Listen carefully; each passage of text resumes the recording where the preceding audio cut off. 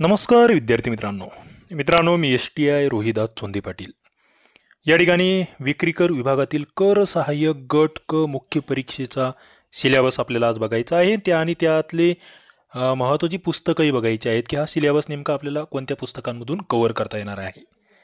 आता पहिला मुद्दा इथे सांगतो विक्रीकर हे जे नाव आहे ना हे आता बदललेलं आहे. या ठिकाणी राज्यकर असं म्हणू शकता तुम्ही किंवा याला सरळ जी एस टी विभाग असंही म्हणता येईल. कारण की हा विक्री कर कायदा जो आहे व्हॅट वगैरे जे आधी होतं त्याऐवजी आता जी एस टी हा ॲक्ट आलेला आहे.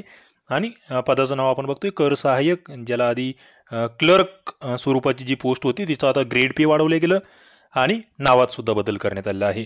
म्हणजे टॅक्स असिस्टंट असं आपण त्याला इंग्रजीमध्ये म्हणतो या पदाला. ओके ग्रुप सीचं पद आहे. मुख्य परीक्षा नेमकी कशा स्वरूपाची असते ते आपल्याला बघायचं आहे. बघा परीक्षा योजना या ठिकाणी लक्षात घ्या सगळ्यात आधी. दोन पेपर असणार आहेत. दोनशे गुणांचे दोन पेपर असणार आहेत. आणि त्याच्यामधला पेपर एक जो आहे तो मंत्रालय क्लर्क एक्साईज सब इन्स्पेक्टर आणि टॅक्स असिस्टंट तिघांसाठी सेम असणार आहे. मुख्य परीक्षेचा पेपर वन. ज्या ठिकाणी शंभर गुण आहेत. ओके? पेपर टू इथे जो आहे तो स्वतंत्र आहे शंभर गुणांसाठी. आता इथे लक्षात घ्या इथे जे तुम्ही जे ग्रुप बीमध्ये चारशे गुणांचा झाला आहे हाच पेपर. म्हणजे प्रश्न तेच. तितकेच. मात्र दोन प्रश्नांना एक गुण आहे. तिकडे ग्रुप बीमध्ये P S I S T I एसच्या बाबतीत तसं इथे अजून क्लास थ्रीच्या बाबतीत नाही आहे हे लक्षात घ्या. ओके काही अपडेट आले तर मी टाकत राहील. तुम्ही नक्कीच एम पी एस सीचा अभ्यास करत असाल कंबाईनचा अभ्यास करत असाल तर आपलं चॅनल नक्की सबस्क्राईब करून ठेवा आणि नोटिफिकेशन बिलला क्लिक करून ठेवा. कारण की सातत्याने अपडेट्स जे काही येतील ते सगळे इथे तुम्हाला भेटतील. या संदर्भातले महत्त्वाचे लेक्चर्स तुम्हाला भेटतील. सगळ्या बाबी. ओके बघा आता आपण इथे जातोय नेमकं स्वरूप कसं आहे? पेपर वन जो आहे संकेतांक झिरो झिरो दोन मराठी आणि इंग्रजी. साठ चाळीस आणि पेपर टू शंभर. प्रश्न आणि गुण सारखेच. इकडे साठ प्रश्न साठ गुण. चाळीस प्रश्न चाळीस गुण. शंभर प्रश्न शंभर गुण. दर्जा मात्र मराठीसाठी बारावी आणि इतर ठिकाणी पदवी. मराठीचा पेपर फक्त मराठीमधून इंग्रजीचा फक्त इंग्रजीमधून. एक तासाचा पेपर आहे. चार ऑप्शन या ठिकाणी आहेत. निगेटिव्ह मार्किंग वन फोर्थ आहे. ओके ते लक्षात घ्या. झिरो पॉईंट पंचवीस गुण तुमचे एका प्रश्नाचे उत्तर जर चुकलं तुमचं तर त्या ठिकाणी तुमचे कटणार आहेत. म्हणजे तुम्हाला असं टोले वगैरे मारायला या ठिकाणी फार कमी चान्सेस असणार आहेत. ओके जे अजिबातच येत नाही त्या प्रश्नांच्या बाबतीत रिस्क न घेतलेली बरी. आता पेपर एक आम्हाला व्यवस्थित समजून घ्यायचा आहे. मुख्य परीक्षेचा पेपर एक जो आहे त्याच्यामध्ये मुख्यत्वे त्याला आपण भाषा पेपर असं म्हणतो किंवा त्याला लँग्वेजचा पेपर असंही म्हटलं जातं. या ठिकाणी मराठीचा पेपर असतो. मग मराठीमध्ये शब्दसंग्रह असतो वाक्यरचना असते व्याकरण म्हणी वाक्प्रचार त्यांचे उपयोग आणि उतार्यावरील प्रश्न या ठिकाणी असतात. आता इथे कशा स्वरूपाचे प्रश्न असतात? ते कशा स्वरूपा म्हणजे कशा पद्धतीने सोडवले पाहिजे? या सगळ्या बाबी आपण स्वतंत्र लेक्चरमध्ये बघूया. आपण याच्या जुन्या जे प्रश्नपत्रिका आहेत ओल्ड क्वेश्चन पेपर त्यासुद्धा आपल्या चॅनलला घेणार आहोत. तुम्ही नवीन असाल नक्कीच या चॅनलच्या संपर्कात राहा. सबस्क्राईब करून ठेवा. आपण त्या सगळ्या मुख्यच्या परीक्षाच्या प्रश्नपत्रिका घेणार आहोत. आपण P S I S T I S ओचे घेतलेले आहे राज्यसेवेचे घेतलेले आहेत प्रीमेनच्या क्वेश्चन पेपर आता याच्यासुद्धा आपल्याला या ठिकाणी घ्यायचे आहे. पुढचा पेपर या ठिकाणी आहे तो म्हणजे इंग्रजी. इंग्रजीमध्ये काय? इंग्रजीमध्ये होकॅबलरी आहे सेंटेन्स स्ट्रक्चर आहे ग्रामर आहे use of idiom and phrases आहे their meaning and comprehension of passages आहेत. म्हणजे इथे उतारा जो आहे ना तो सुद्धा तुमच्यासाठी महत्त्वाचा आहे. तुम्ही याचा नेमका अभ्यास कशातून करायचा? तुम्हाला मी मराठी व्याकरणासाठी सांगितलं आहे इथे खरं म्हणजे क्रमिक पुस्तकं जी आहेत ना मित्रांनो मराठीचे क्रमिक मग त्या ठिकाणी मी सहावी ते बारावीपर्यंतची म्हणेल. याच्या मागे जे टॉपिक दिलेले आहेत ना प्रत्येक म्हणजे मराठी व्याकरणाच्या याच्यात मराठीचं जे आपले क्रमिक बालभारतीची पुस्तकं असतात त्याच्यामागे खूप सारे व्याकरणाचे टॉपिक दिले. त्याचे सगळे लेक्चर्स आपण घेतले ऑलरेडी ते सगळे लेक्चर्स तुम्ही एकदा बघा आपले. तुम्हाला जर ती वाचायला भेटली तर बरं. कारण की सगळे पुस्तकं आपल्याकडे नसतात. आपली मराठी व्याकरणाची प्लेलिस्ट या ठिकाणी बनवलेली आहे. त्याच्यामध्ये मराठी व्याकरणाची लेक्चर्स आहेत आपले सगळे. जवळपास एक शंभर प्लस लेक्चर्स आहेत सगळे त्या ठिकाणी. ते बघा तुम्ही. तुमचा इथे पूर्ण अभ्यास होईल. त्याचे नोट्स काढा. पुढचं पुस्तक म्हणाल तर मोरावळंबी बाळासाहेब शिंदे दोन पुस्तकं आहेत. शब्दसंग्रहासाठी तुम्ही के सागरचं पुस्तक वापरू शकतात. किंवा आता जे मोरावळंबेंचं पुस्तक आलेलं आहे नवीन पुस्तक त्यामध्येही मला वाटतं तुमचा शब्दसंग्रह बऱ्यापैकी कवरून होऊन जातोय. सगळ्यात महत्त्वाचं काय? जुन्या प्रश्नपत्रिका. जुन्या प्रश्नपत्रिका त्याच्यातले ते म्हणी वाक्प्रचार जेवढे काही विचारलेलं आहे ते सगळं तुमचं शब्दसिद्धी संदर्भातले मुद्दे असतील. समास सारखा टॉपिक आहे प्रयोग सारखा टॉपिक आहे हे टॉपिक तुम्हाला खूप चांगले करून ठेवावे लागतील. पुढे इंग्रजी. इंग्रजीमध्ये मित्रांनो हा वेळेवर करण्याचा विषय नाही आहे हा दुर्लक्षित करण्याचा विषय नाही. खूप सारे जण ज्यांचे मुख्यचे रिझल्ट टॅक्स असिस्टंटचे जे जातात ते फक्त इंग्रजीकडे दुर्लक्ष केल्यामुळे. आम्ही इंग्रजी कच्ची असं म्हणतो मात्र आम्ही इंग्रजीवर किती वेळ अभ्यास केला असं जर विचारलं तर आमचं उत्तर येतं की खूप कमी वेळ मी देतोय. ओके इथे आम्हाला सुधारणा करावी लागेल की आम्हाला इंग्रजीला नियोजनबद्धपणे हाताळावं लागेल. आम्हाला त्या ठिकाणी त्याचा अभ्यास करावा लागेल. ओके आणि खूप कमी वेळेमध्ये हे दोन विषय जे आहेत मित्रांनो याचा इनपुट आउटपुट रेशिओ जो आहेत ना तो फार वेगळा आहे बरं का. इनपुट आउटपुट रेशिओ म्हणतोय मी तुम्हाला. म्हणजे खूप कमी वेळ अभ्यास करून खूप जास्त गुण या ठिकाणी या दोन विषयांमध्ये तुम्हाला भेटू शकतात हे लक्षात घ्या. आता इथे व्होकॅबलरी वाढवायची आहे तुम्हाला न्यूजपेपर रिडिंग करावं लागेल.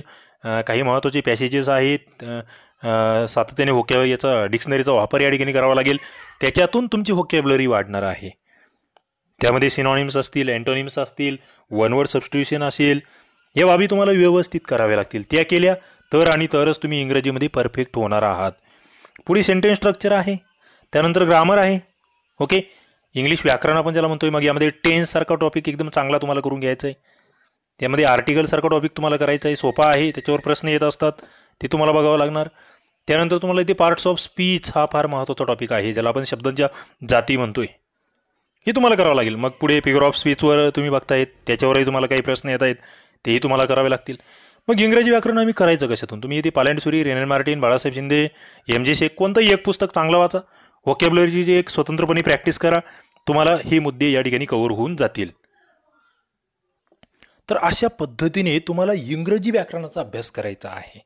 ओके इंग्रजी व्याकरण हा सातत्याने जर अभ्यासला गेला विषय तर अत्यंत चांगला सब्जेक्ट इनपुट आउटपुट रेशोमध्ये खूप कमी वेळेमध्ये खूप चांगला सिलेबस या ठिकाणी कव्हर होतो.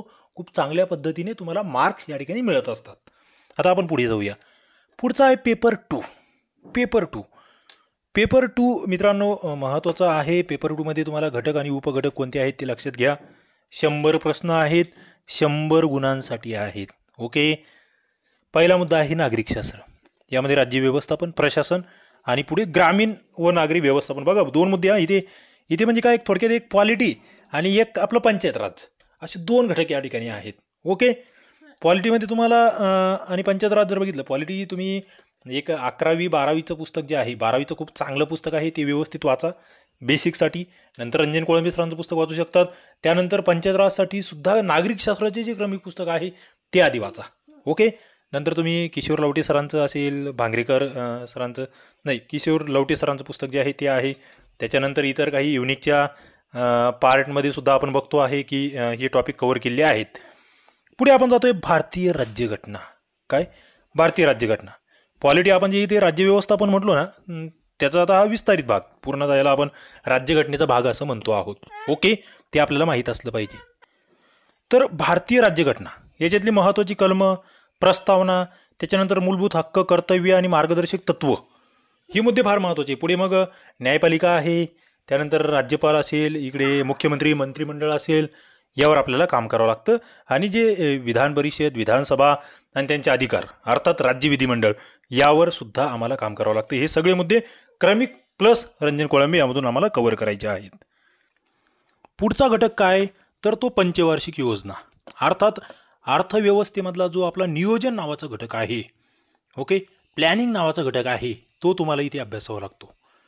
मग याच्यातही तुम्हाला फक्त तुम्ही कोणत्याही एका पुस्तकामधून कोणतंही मग ते तुम्ही तात्यांचा ठोकळा असू द्या किंवा इतर कोणत्याही प्रकाशनाचं पुस्तक असू द्या अर्थशास्त्राचं तिथून तुम्ही किरण देसले सरांचं पुस्तक वापरू शकतात कोळंबे सरांचं वापरू शकतात किंवा एखादा असेल सगळ्या पंचवार्षिक योजना मग त्यांची प्रतिमानं त्यांचा कालावधी त्या काळात कोण त्या ठिकाणी धोरणं ठरवणारे होते मुख्यमंत्री असतील अर्थमंत्री असतील त्या संदर्भातले त्या त्या योजनेमधले अचिव्हमेंट्स काही योजना मधला सुट्टीचा पिरियड वगैरे हे सगळं तुम्हाला इथे व्यवस्थित करायचं आहे.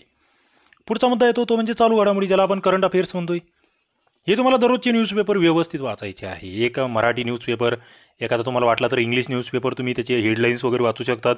त्यामधले महत्त्वाचे शब्द काढू शकतात. ते मराठीलाही तुम्हाला तिकडे इंग्लिशलाही कामं येणार आहे. ओके तर तो मुद्दा लक्षात घ्या. इथे डेली एखादं मासिक परिक्रमासारखं किंवा एखादं युनिक कोणतंही एक चांगलं मासिक तुम्ही घेऊ शकतात.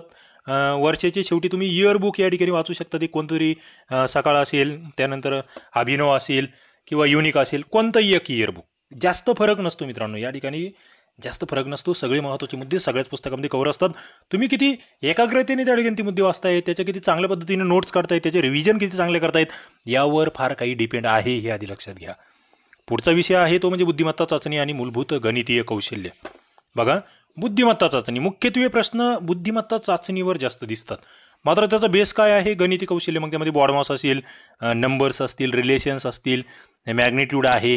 बऱ्याचशा बाबी. इथे एक क्लास टेनची लेवल आहे. म्हणजे दहावीची लेवलची गणित या ठिकाणी आपण म्हणूया. बुद्धिमत्ता चाचणीचे प्रश्न तुम्हाला जुने प्रश्न इथे बघावे लागतील. याच्यासाठी संदर्भ जर म्हटलं जुने प्रश्न बघा. तुम्हाला पुस्तकच घ्यायचं असेल तुम्ही अभिनव प्रकाशनाचं पुस्तक घेऊ शकतात. त्यानंतर सुजित पवार सरांचं पुस्तक आहे युनिकचं ते घेऊ शकतात. किंवा अग्रवाल सरांची पुस्तकं आहे ते तुम्ही वाचू शकतात. याच्यामध्ये सराव करायचा आहे तुम्हाला. सराव गणित आणि बुद्धिमत्तेमध्ये सराव ॲक्युरसी आणि स्पीड या तीन बाबी तुम्हाला फार महत्त्वाच्या असणार आहे. आणि ते टाईपनुसार जा. बाबा कोणते टाईप विचारले? जेवढे टाईप विचारले ना आधी एम पी एस सीने मग त्यामध्ये ग्रुप बी ग्रुप सी ते सगळे टाईप आधी कव्हर करा. त्या त्या टाईपचे दोन दोन चार चार क्वेश्चन सोडवा. त्याचे शॉर्टकट मेथड त्या ठिकाणी सापडून घ्या. आणि सगळ्यात महत्त्वाचा मुद्दा हे वेळेवर होणारा हा विषय नाही आहे हा कंटिन्यू दररोज दररोज हा शब्द ज्याच्याकडे आहे ना दररोज करावा लागेल तुम्हाला दररोज. एक तास तरी किमान या ठिकाणी तुम्ही द्या. ओके? मग या ठिकाणी आपण बघतोय अंकगणित आहे. त्याच्यामध्ये मग हे सगळे बेसिक मुद्दे. अपूर्णांक गुणोत्तर प्रमाण वेळ अंतर नफा तोटा सूट काळकाम वेग असेल व्याज असेल आलेख सरासरी ह्या सगळ्या बाबी इथे करायच्या आहेत. ओके?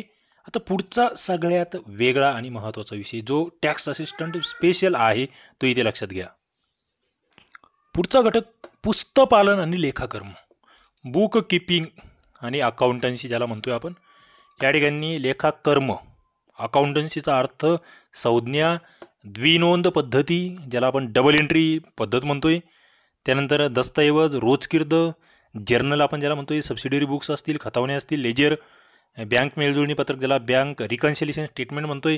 तेरीज ट्रायल बॅलन्स असेल घसारा डिप्रिशिएशन अंतिम लेखी फायनल अकाउंट्स त्यानंतर स्टेटमेंट तयार करणे नफा न कमविणाऱ्या संस्थांची खाती हे सगळे मुद्दे तुम्हाला करायचे आहे आणि हे कुठून करायचे आहे?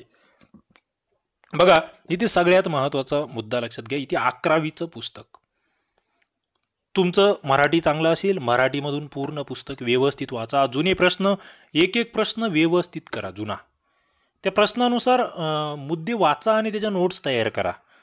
फार महत्त्वाचा मुद्दा अकरावी.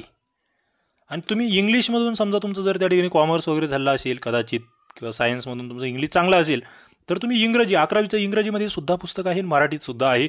माझं म्हणणं इथे अकरावीचं पुस्तक आणि मागील प्रश्नपत्रिका. या दोन बाबी सगळ्यात तुमच्यासाठी म्हणजे बेस्ट असणार आहेत. तेवढं करा. या ठिकाणी तुम्हाला मार्क्स येऊन जातील. इतर मग मार्केटमध्ये भरपूर काही पुस्तक लेखकांच्या नोट्स आहेत. तुम्ही एखाद्या नोट्स तुम्हाला तिथे भेटल्या तर त्याचा थोडासा फायदा तुम्हाला होऊ शकतो. पुढचा मुद्दा येतो तो अर्थशास्त्राचा. आणखी एक घटक तो म्हणजे आर्थिक सुधारणा आणि कायदे. यामध्ये मग ती खाऊचा धोरण आहे. डब्ल्यू टी ओ आहे. जी एस टी जे आपण ज्या खात्यामध्ये तुम्ही जाणार आहात त्या खात्यासंदर्भातले प्रश्न आहेत. हे सगळे तुम्हाला करायचे आहे. मग इथे तेच. रंजन कोळंबी घ्या किंवा किरण देसले घ्या. त्या पुस्तकामधले एवढेच टॉपिक वाचायचे. फक्त सिलेबस वाईज तुम्हाला जावं लागेल. मग मुख्य परीक्षा परीक्षा तुम्हाला अवघड नाही. इथे तुम्हाला मेन्सला पुन्हा आणखी एक मुद्दा सांगतोय मी की मेन्स तुमचं मुख्यत्वे स्कोअर कशावर ठरतो? मराठी आणि इंग्रजीवर. कारण ते घटक असे आहेत ना मित्रांनो तुम्ही तिथे मराठी आणि इंग्लिशमध्ये शंभरपैकी तुम्ही ऐंशीसुद्धा गुण घेतलेले विद्यार्थी आहेत. जी एसमध्ये किती तुम्ही त्या ठिकाणी मेहनत घेतली तरी पासष्ट फार झाले पासष्ट म्हणजे अति हद्द झाली पासष्ट सत्तर. इंग्लिश मराठीमध्ये तुम्ही ऐंशी घेऊ शकतात. म्हणजे तुम्हाला इथे भाषा विषयाला फार महत्त्व द्यायचं आहे तिथे तुमचा स्कोअर येणार आहे. ओके? त्याच्यामुळे आणि ती हक्काची मार्क्स आहेत तिथे तुम्ही फोकस करा. मग तुम्हाला टॅक्स असिस्टंट होणे निश्चितपणे त्या ठिकाणी सोयीचं ठरणार आहे. चला व्हिडिओ आवडला असेल लाईक करा. आपल्या मित्रांना शेअर करा. टॅक्स असिस्टंट संदर्भात विविध लेक्चर आपण टाकत राहणार आहोत. याच चॅनलला सबस्क्राईब करून ठेवा. पुन्हा भेटूया. धन्यवाद.